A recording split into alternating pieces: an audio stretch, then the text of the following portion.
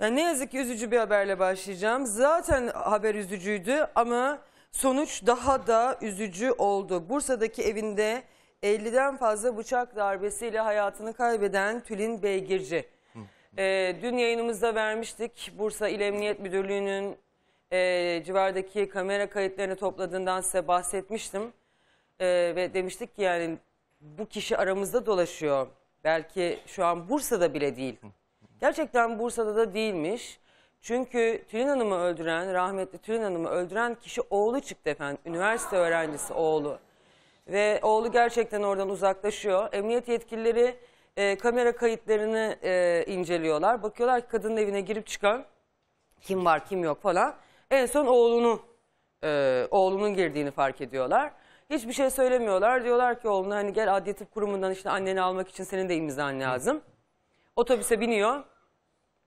Ee, daha otogara gelmeden otobüsü durdurdu e, emniyet yetkilileri ve bu hayırsız evladı gözaltına aldı. Üstelik e, kadın, kadıncağızın e, dolabının içine işte mahallenin de bir namusu var falan gibi bir yazı yazmış. Yani kadın mahallede namussuzluk yaptı da o yüzden öldürüldü diye düşünülsün diye dolabının içine de böyle bir yazı yazmış. Hani iyice ondan uzaklaşsın e, olaylar diye. Şüpheleri artsın. Evet. Ee, çocuk a- annenin yakınları da konuşmuştu. Ee, anne çalışıyor. Zaten kanser rahatsızlığıyla boğuşuyor. Bir yıl daha çalışıp emekli olmayı bekliyor ki oğlu da okuyor. Oğluna para gönderecek diye. O konuda da annesine yalan Buyurun söylemiş. işte annenin düşüncesine bakın. Anne Annenin evlata kanser karşı olan olmuş hissiyatına ve bakın. Hala Evlatın çalışıyor oğluna para göndereyim Allah diye. Yani işte çalıştım demiş çalışmıyormuş. Üniversiteye gidiyorum diye gitmemiş. Hani hayatta Böyle her bir şeyin hayırlısı derler ya. Aynen öyle evladın da evladım hayırlısı. da hayırlısı. Fazla da zorlamamak lazım diye Evet. ben buradan hani üzülen çocuk sahibi olamıyorum diyen üz- üzülen izleyicilerime bazen söylüyorum ya fazla da zorlamayın arkadaşlar Allah'ın bir bildiği vardır diye.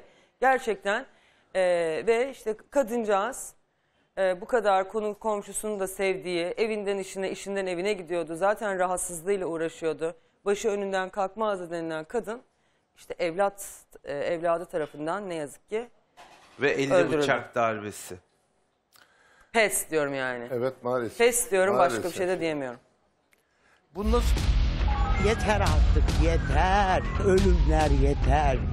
Canlı canlı canlı canlı canlı çok değişti. Türkiye'nin kanını donduran haber Bursa'dan geldi. 48 yaşındaki bir kadın tam 50 yerinden bıçaklanarak canice katledilmişti.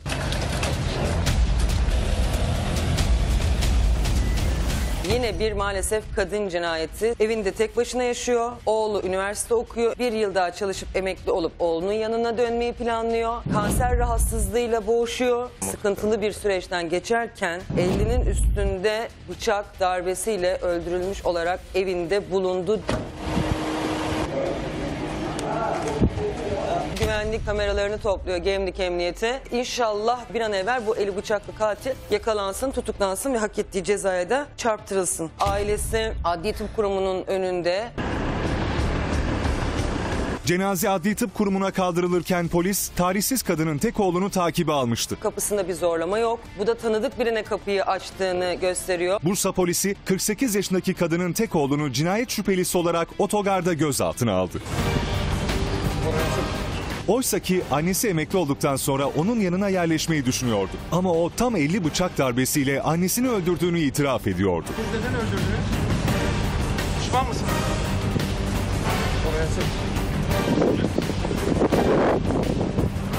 Annenizi öldürdünüz.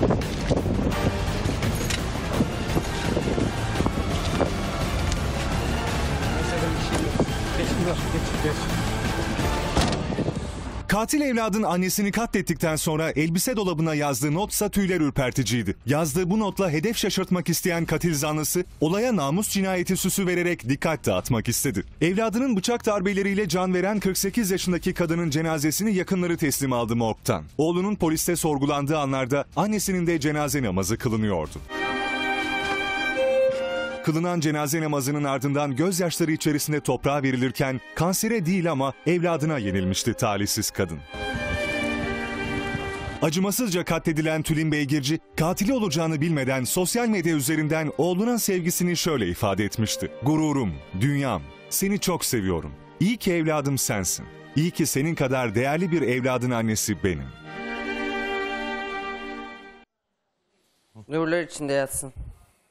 Kanserin tedavisi var da böyle evlat bile diyemeyeceğim hainlerin ne Yapılabilecek yazık ki hiçbir çaresi şey yok yani.